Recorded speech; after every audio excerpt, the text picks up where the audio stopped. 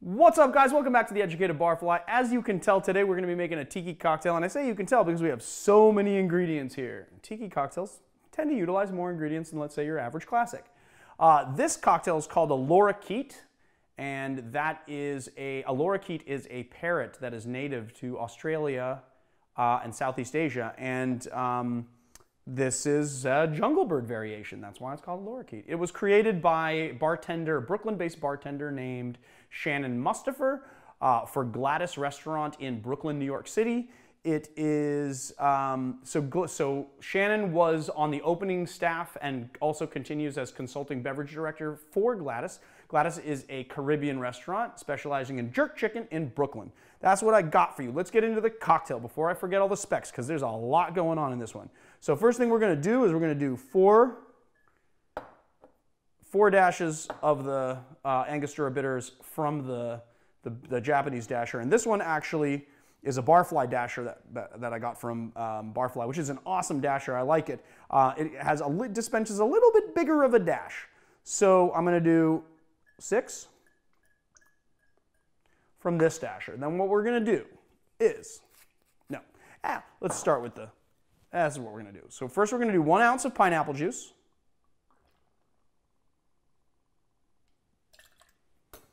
We're going to do three quarters of an ounce of lemon juice,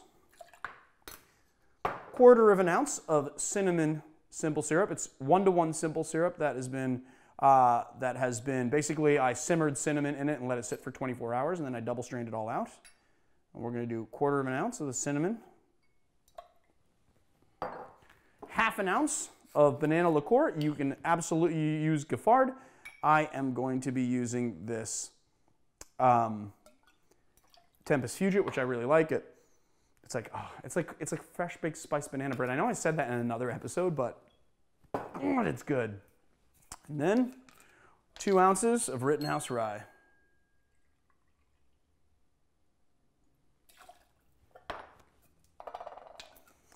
And we're going to take a little bit of crushed ice and throw it up into our tin here. Give it a little whip shake, like so. Like these shakes, like you just want to get the, you want to, you can shake it. You can shake it until it's all gone. You're just trying to get a little of the dilution going and a little chill going. But you're going to pack it in crushed ice, so you don't want to shake it with too much crushed. Just a little, little dab will do it. Somebody was like, I can't wait to see you smile while you're shaking. So I don't want to, I don't want to give you guys any, uh, I don't want to disappoint you guys. I want to be smiling the whole time. All right, cool. There we go. And then add that into our glass. And we are going to, now, this is a slightly more brown appearance than if you use the Giffard, which is basically very light and yellow, then you're going to get a much redder color. This is a little bit browner because um, I, uh, I used the dark uh, banana. Let's give it a taste before we garnish it.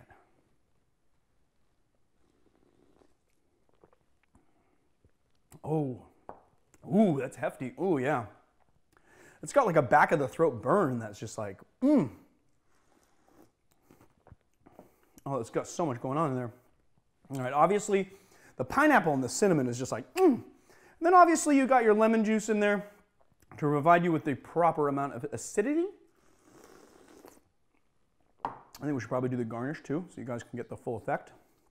With just like a couple of pineapple spears. And I'm gonna give it a little orange spritz. So it looks kind of like that.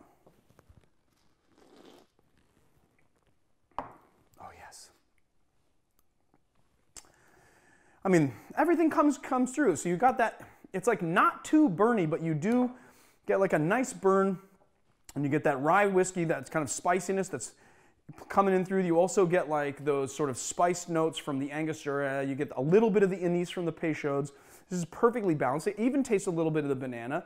You know, the pineapple is prevalent. Uh, it's mixing with the, the cinnamon syrup like so well. And of course, it would not be a complete balanced drink without that night note of acidity, which is what we're getting from this lovely uh, lemon juice. Now, if you guys feel cheated and you say, oh, Leandro didn't, didn't forget anything this episode, and I kind of feel like he's not being himself, you will notice that I didn't put a straw in here, and all crushed ice cocktails need a straw, and, I, and it's because I forgot it. And I didn't want to go to the other room where I know where all my straws are. Um, I will say, though, that um, uh, I'm using a new bitters dasher from our uh, sponsor, Barfly Mixology Gear, and it's a very nice dasher. Typically, with these types of dasher tops, I kind of I've always gone to the uh, Japanese ones because the Japanese dasher tops are very, very precise.